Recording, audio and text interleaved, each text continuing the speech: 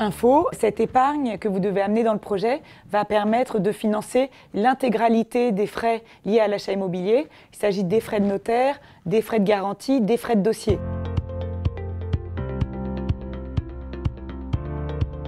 Intox, on peut emprunter sans apport. Il y a une tolérance, notamment pour les moins de 30 ou moins de 35 ans, mais également si vous avez un profil évolutif. Voilà, la banque peut comprendre que jeune, vous n'ayez pas pu avoir cet apport, mais si elle sait que plus tard, euh, vos revenus vont évoluer, elle va pouvoir euh, faire cet effort pour capter cette clientèle qu'elle considère de qualité. Également pour les beaux profils qui font par exemple un investissement locatif et qui ont intérêt à emprunter le maximum pour profiter de l'effet levier du crédit, là également on peut emprunter sans apport personnel. Voilà, c'est essentiellement les deux cas.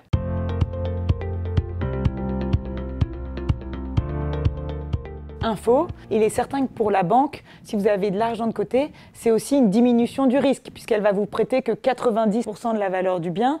Donc vous amortirez plus vite le capital, et si jamais vous devez revendre, vous serez plus en mesure de rembourser à la banque. Avoir de l'apport personnel permet aussi de faire diminuer le taux d'endettement, et ça aussi, c'est ce que recherchent les banques.